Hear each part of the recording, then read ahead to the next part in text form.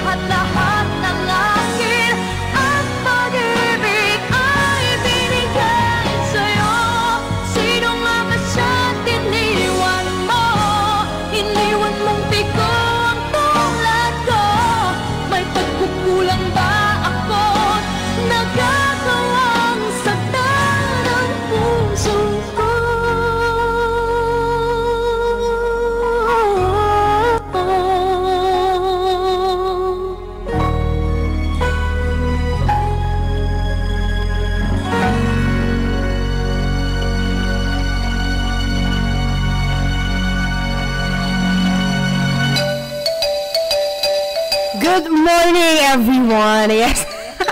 yes naman, di ba? Meron na ulit tayong pag-good morning sa Monday. Di ba? Kung wala na good morning sa'yo kaninang 6 to 7 a.m. hanggang 8, di ba? Ako na lang yung mag-good morning sa'yo. So, good morning, guys! Good morning sa lahat. Kasi, alam naman natin na um, nakakalungkot kapag walang nag-good morning sa'yo. Isisingit talaga natin yan, di ba? Parang pinilit mo silang malung malungkot pag walang nag-good morning sa kanila. Pero, good morning sa lahat. And of course, ah, mag-ingat kayo sa lahat ng inyong mga lakad ngayong araw na ito. Lalong-lalo na lunes. Lunes, di ba? At umaga pa, hindi pa masyadong um, ah, malalim, 'di ba? Malalim ang ano, ang ating araw. So napakadami pa nating oras para mag-enjoy at magliwaliw. May pagliwaliw, meron tayong pagganon dito ngayon eh. So, good morning again guys. And of course, sa sobrang init ng panahon ngayon, kailangan din nating mag-ingat sa mga heat strokes. Yes naman, ah, 'di ba? Kasi sa as a Pinoy, di ba? Kahit sabihin na natin, um, sanay tayo sa um, tropical na weather, yung talaga namang mainit, tas biglang mala, biglang uulan, wala palang malamig. wala palang malamig, puro pala tayo init dito sa Pilipinas. Pero di ba dahil um, tropical nga, sanay naman tayo sa mga ganyang weather na init tapos biglang ulan, di ba? Kailangan din, kailangan pa din nating magdala ng napakadaming tubig para stay hydrated tayo. Huwag kayong magpapadehydrate, guys. And then, of course, sa inyong mga pamamahay, ano na, di ba? Kumusta naman ang ating mga pamamahay dyan, di ba? Dahil napakaraming, ano ngayon, issue ng sunog, di ba? Ito pa lang sa ating syudad, di ba? Merong naganap na napakalaking sunog na talaga namang sumira. Wow. na talaga namang sumira sa napakadaming kabahayan around Carmen and Payahan. And of course, kaninang 12, ano din, 12 midnight, yan, itinaas na Task Force Delta ang sunog sa gusali ng Manila Central Post Office, Luzon. Yan, so, Lotan, I mean. So, hindi talaga natin may iwasan na kahit anong gawin nating ingat, meron at meron pa ding mga mangyayaring um, insidente ng sunog. Sabi nga ng mga matatanda, ano daw, mas okay na yung manakawan ka kesa naman yung masunugan ka. Which is true, di ba? Kasi naman, pag nanakawan ka, anytime, pwede mong ma-retrieve yung nanakaw sa'yo. Anytime, pwede kang ah, makabawi, di ba? Pwede kang makabili ng cellphone, kung cellphone man yung nasun ay nanakaw sa'yo. O kaya, kung supa, di ba? kung supa man yung nasunog sa inyo, anytime, pwede kang makabili nun. O kaya yung mga damit nyo, pag nanakawan kayo sa sampayan, uso pa ba yun guys, yung ninanakawan sa sampayan? Di ba? Pag ganun, pwede mo pa anytime, pag nagkapera ka, pwede kang bumili ng damit mo, pwede, o kaya pwede kang bumili ng kung ano-ano man dyan. Pero kapag nasunog, ayun lang. Talaga namang ano, napakahirap bumawi sa mga ganong sitwasyon. Kasi isipin mo, aside sa um, napaka, tawag dito, napakalaki ng iyong casualties, ano daw? May pa casualties na si DJ Darren dito. Pero di ba, aside sa napakalaki ng casualties, um, mahirap din talaga makabawi sa trauma na binigay nung ating um, ganong, ganong ano nga, aksidente. Nakakalungkot, pero wala tayong magagawa dahil aksidente naman talaga yon. Aside na lang kung sinadya. Talagang ang sarap talaga mangurot, di ba? Masasadya naman kasi yung sunog. Ano na, ano namang mapapala ng mga taong sumasadya ng sunog, di ba? Aside sa kahihiyan, wala na sigurong iba, di ba? di ba? Parang ganun lang yon. And of course naman, para sa mga mga merong balak dyan, kung meron ba kayong balak dyan, itigil nyo na, di ba? kung gusto nyo umano, magsunog-sunog dyan, sunugan yung bahay nyo, tas yung, eh, ano, eh, eksakto nyo na yung bahay nyo is malayo dun sa mga tao, para kayo-kayo lang din yung makafeel ng hirap, di ba? Kasi napakahirap naman talaga na dahil lang sa simpleng trippings, di ba? O kaya sa simpleng tampuhan nyo, milyon-milyon, di ba? O kaya thousands, yung nawalan talaga ng tirahan. And of course, yung nangyari sa Manila Post Office, um, 36 truck ng bumbero ang ng mga, mga volunteer ang kailangang rumisponde para makontrol ang apoy. Imagine guys, 36 fire trucks, 'di ba? Napakahirap, napak of course, um, it is a post office. Uh, given na talaga na malaki agad yung apoy sa mga ganyan dahil of course mga papel yung nandoon, mga documents ng kung ano-ano. Tapos meron din yung ano, kung hindi kayo guys familiar sa post office, meron yan silang parang basement o kung na kung saan nilalagay nila doon yung mga letters, mga unclaimed letters o kaya yung mga letters na um, hindi na nakukuha, yung mga packages na matagal nang nandun sa kanila. And of course, uh, meron doong mga ibang packages na pwede talagang mag-start ng apoy. And ang nangyari daw yung sunog around 11 ng gabi. So, hindi talaga natin maiwasan yung mga ganong klaseng aksidente. Imagine, nangyari siya 11, na pwede naman sana siya mangyari kung kailan maraming tao doon sa post office mismo na pwedeng umapula. And then of course, alam naman natin na yung post office ng Pilipinas is meron talaga yung mga fire extinguisher, di ba? Mga sprinkler. Siguro talagang hindi lang kaya ng sprinkler maapula yung ganun kalaking sunog, lalong-lalo na nagaling siya sa flammable materials, di ba? Papel kasi yun, guys. yung plastic na pag nasunog, di ba? Grabe, ang bilis. Ang bilis talaga kumalat ng apoy. Eh, yung pa kayang papel, di ba? Na yung papel pag sinunog mo ng ah, madikit lang, di ba? Obserbahan niyo yung papel, guys. Huwag lang madikit sa isang mainit na parte ng ano apoy, 'di ba? O kaya parte ng kawali, kaldero, ganyan. Aapoy talaga siya agad, 'di ba? Sana all ganun ka hot, 'di ba? Sana all ganun ka ano, ka bilis mag-adapt. yung pating ganun, sinasana all eh, no? And sabi dito, hinihila, hindi hinalaang sa basement umano ng gusali nagsimulang sumiklab ang sunog pasado alas, do, alas 11 ng gabi. Yan. So, kagabi siya, guys. Di ba? As imagine niyo na lang din. Of course, yung mga post office na nakikita natin sa movie, ganun na ganun din yung post office dito sa Pinas. Yung pinagkaiba lang, hindi siya organized. eh, may, may pa ganun eh, no? Pero, of course, um, kagaya, kagaya nga na sinasabi ko kanina, hindi talaga natin maiwasan yung mga aksidente. So, wala naman sigurong magsasadyang magsunog ng post office, no? Di ba? Wala naman sigurong gaganon, no? Wala naman, ano, ano yung term natin doon? Aw-anon. Di ba? Wala naman sigurong aw-anon na susunog ng ano post post office. So, sabi rin daw dito, 10 fire prevention tips you need to know. Yan. So, of course, um, so, sa sobrang init na, kailangan na din natin ng mga safety measures. Yan. Kung paano kung paano natin may iwasan yung mga sunog kasi wala naman talagang taong gustong masunugan. So sabi dito, number one daw guys is avoid electrical overloading. Yan guys yung mga ginagawa nyo na merong nakasa sa isang um, extension wire. Yan yung napakadami yung sinasaksak ng mga chargers, mga electric fans. Yan, yan yung minsan nga may TV pa. Di ba? Awit nga doon. Yung ano na lang siya, extension wire na lang siya. Nilagyan nyo pa ng TV. Awit. Napakalaking awit talaga nun. And then of course, ito din yung sinasabi ng um, ng ating um, fire ano um, Bureau of Fire Protection lalong-lalo na kapag Pasko yung lagi nilang nire-remind sa atin about Christmas lights yung octopus wiring di ba kasi yung ano kasi mga Christmas lights pwede mo silang pagdugtong-dugtungin di ba ginagawa silang mga trend-trend ganun para mas humaba yung mga um, Christmas lights natin. So, ganun din guys, kapag hindi siya Pasko, marami sa atin yung nagsasaksak ng napakadaming appliances sa napakaliit na saksakan. Di ba? Minsan yung extension wire, meron pang extension wire, di ba? Awit sa ganun. So guys, sabi daw dito, para maiwasan yung sunog, avoid electrical overloading. And the number two is check electrical connections for faulty wirings. Yan, kal kalimitan kasi guys, um, nangyayaring sunog dahil din sa mga faulty wirings ng ating mga kabahayan, di ba? Mostly niyan is yung mga biglaan na lang na nag spark yung iba naman, um, open wire, open, open ano na pala siya, tawag dito yung open wires, yan. Tapos ma- madidikit sa mga flammable materials, ayun talaga, GG.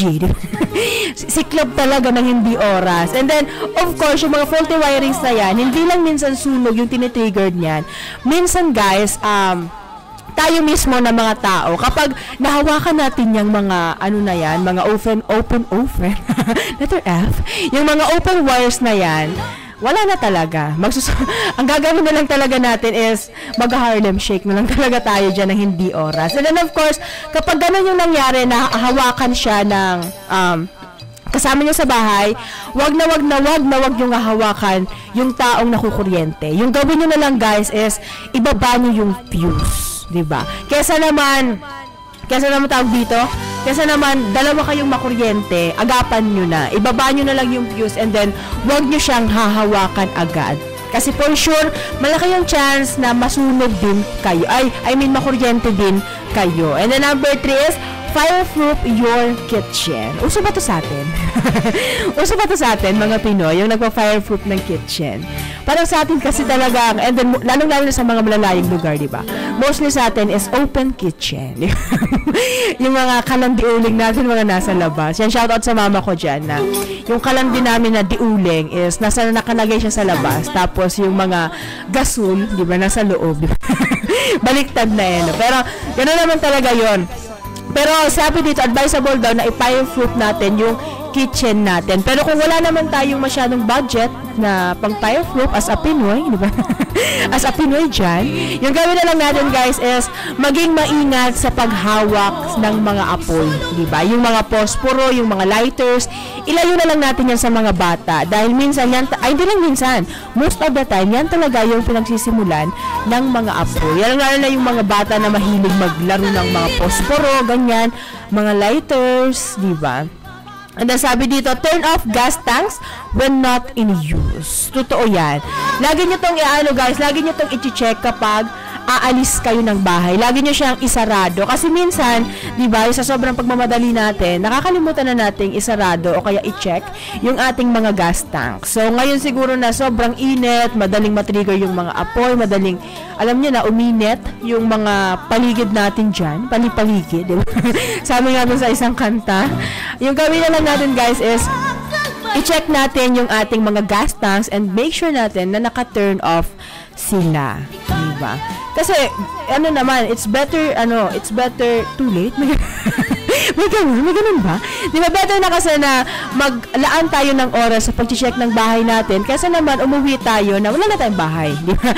Yun lang yun. Yun lang talaga yung choices natin lately. And sabi dito, keep your light source secure. Lalo na na kapag brown out guys, yung mga kandila, yung mga lampara natin, i-make sure natin na nakapatay lalo-lalo bago tayo matulog o kaya kapag aalis tayo ng bahay, yung mga lampara natin na bigas, itaas natin. So, bago tayo magpatuloy sa ating topic, guys, um, let's have a short commercial break.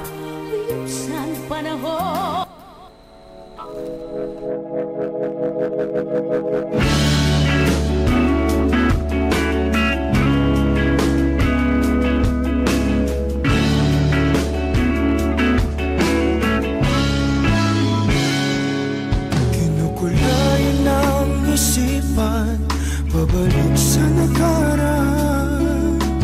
Huwag mo nang balikan Patuloy ka lang masasaktan. Hindi na kulang kakaisip Sa isang magandang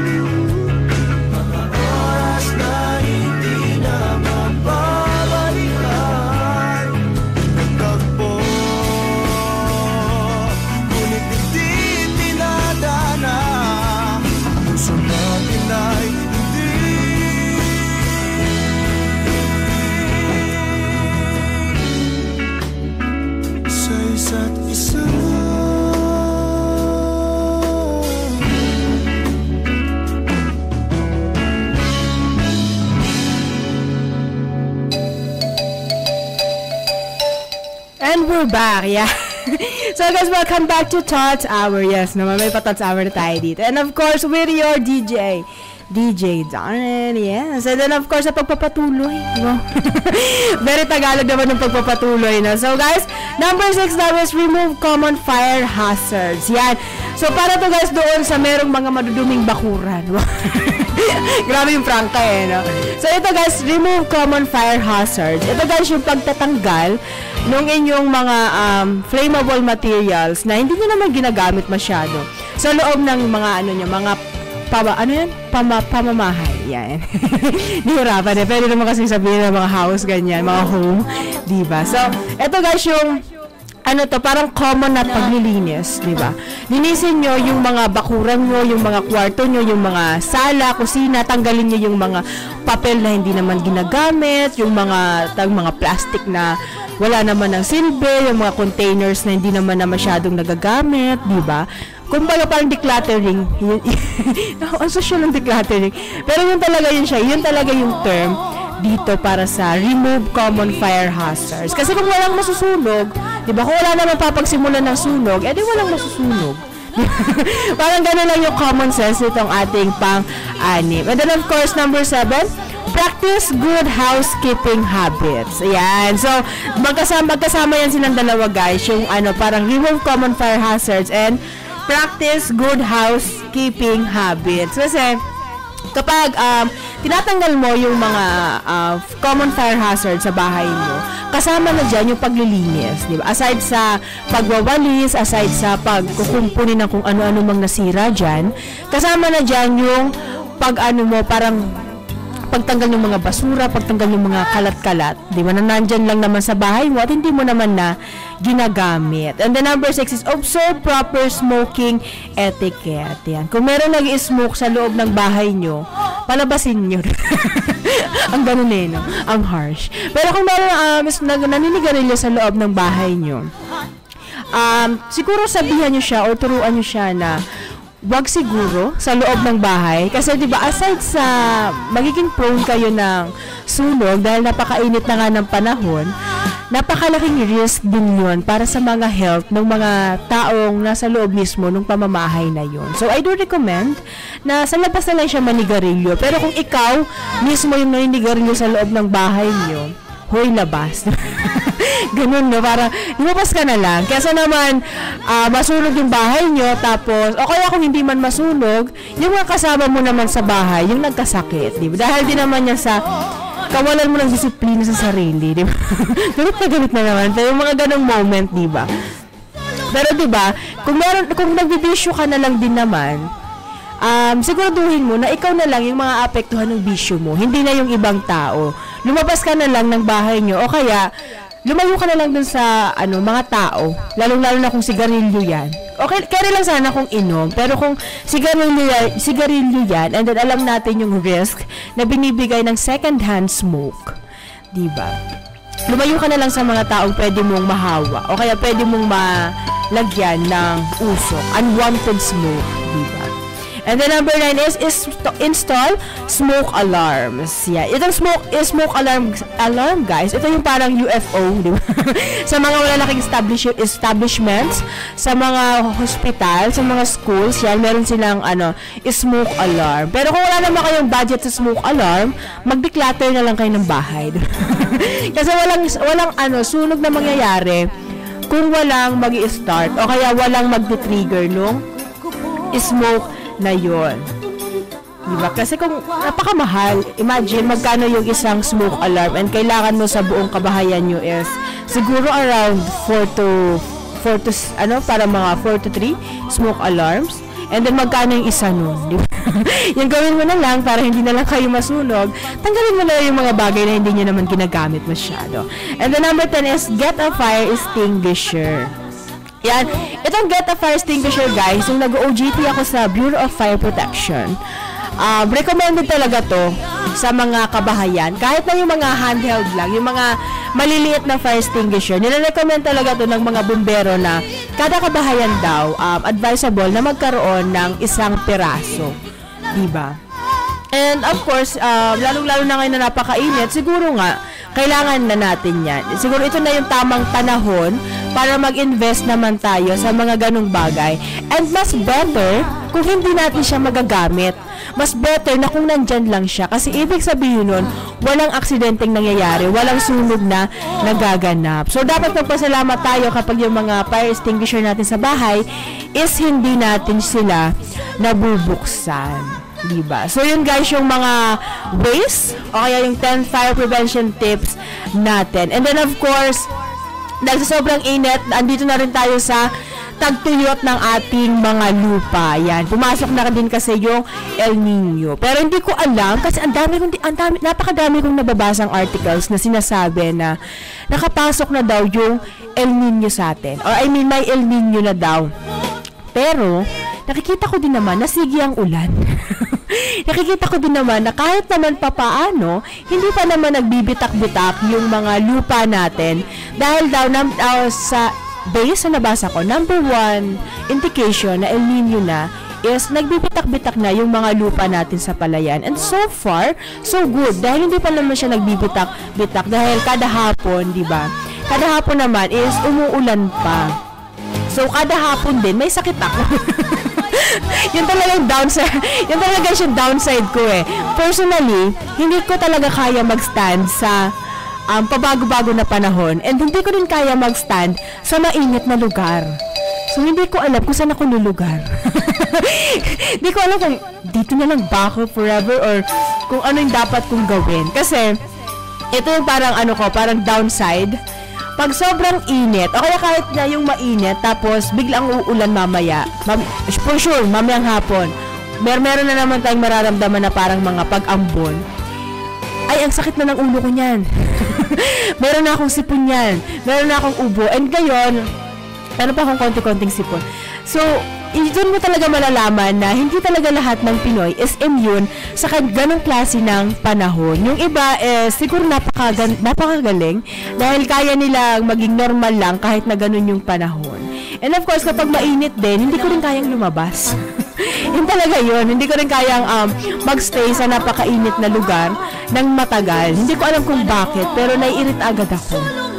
Sabi dito guys sa CNN Philippines, 82% of farmlands have low soil fertility. So guys, yung low soil fertility, ito yung hindi nila kayang bumuhay ng mga pananim, 'di ba? Mostly kasi sa mga lupa natin dito sa Pilipinas and then of course sa Kalbayog, napakataas ng kanilang soil fertility. Meaning kahit anong itanim mo, mamumunga at mamumunga yan. Lalaki at lalaki yung mga puno na yan, yung mga sili dyan, avocado, bayabas, di ba, mga saging.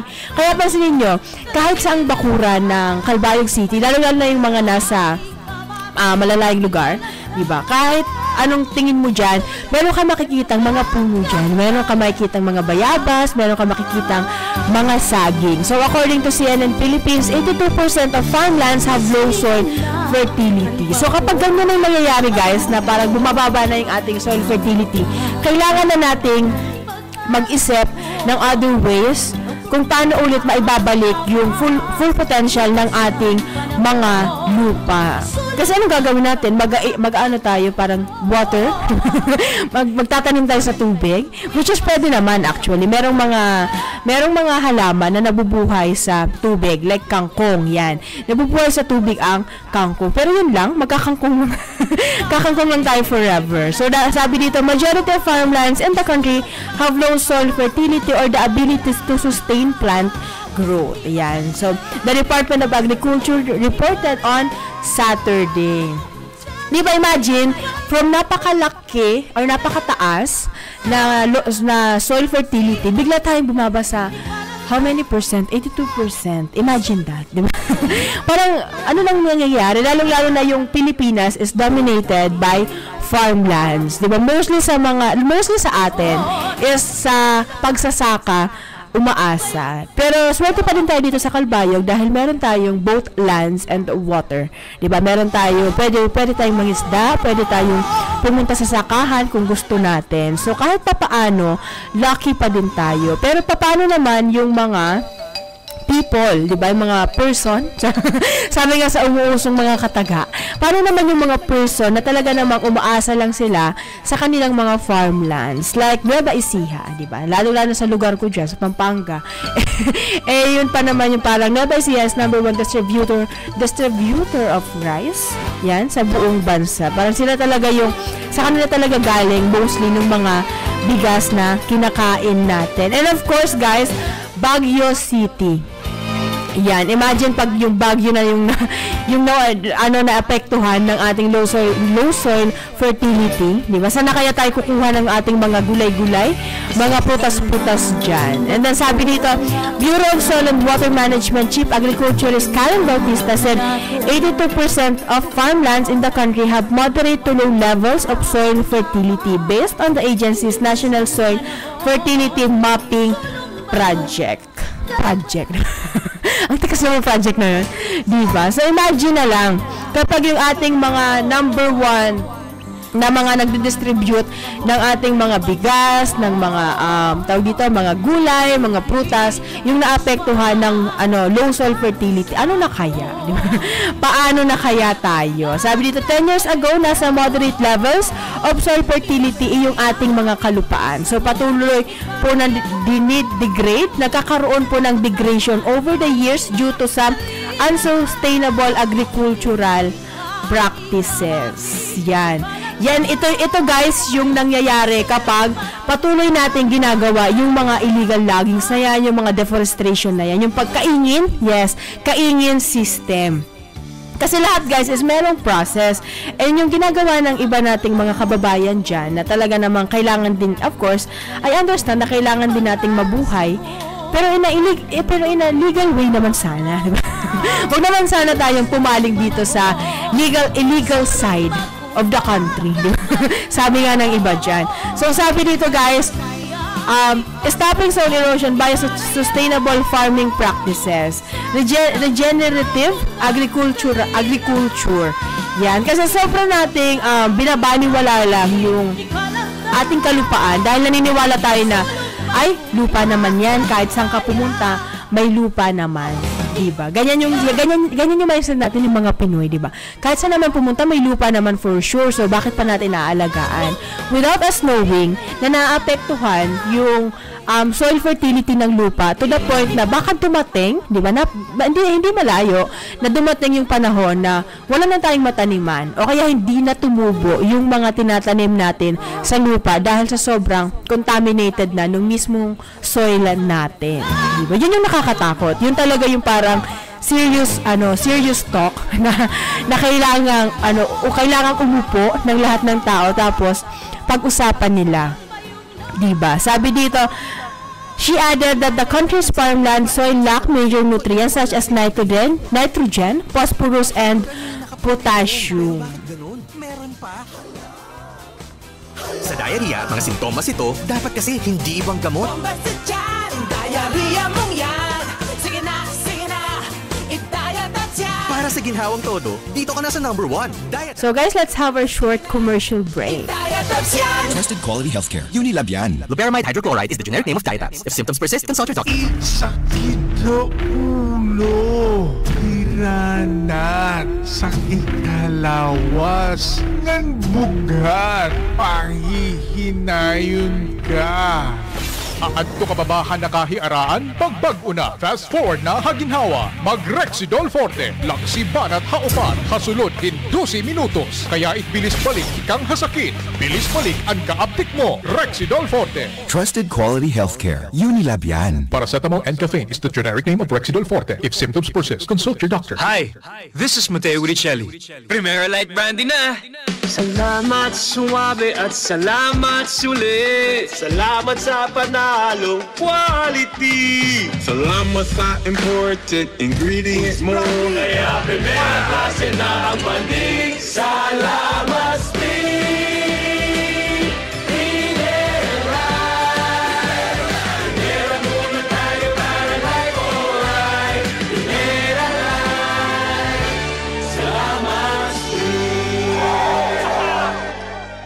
Drink responsibly. Iniwan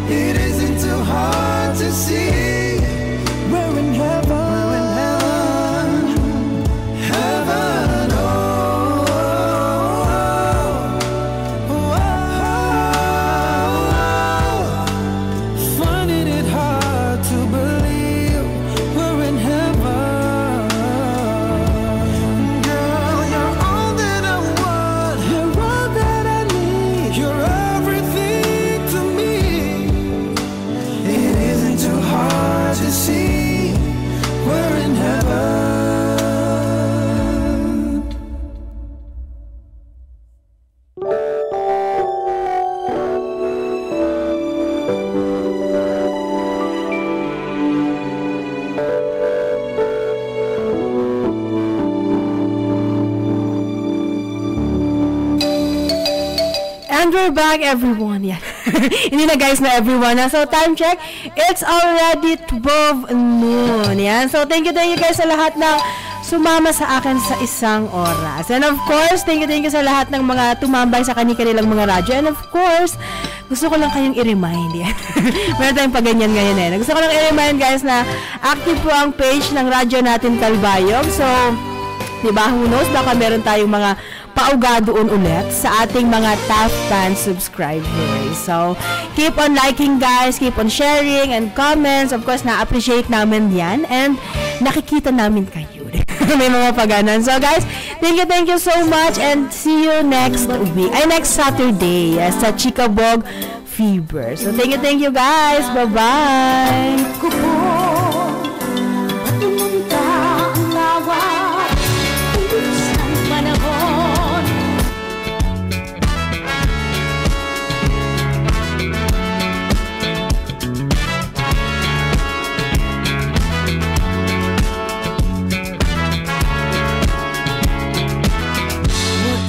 told you that I've fallen. And I like the way you say my name. My heart skips a beat when I hear you calling. And I like that it won't go away. But never mind. Don't wanna give you any trouble. Never mind. Never mind. your side.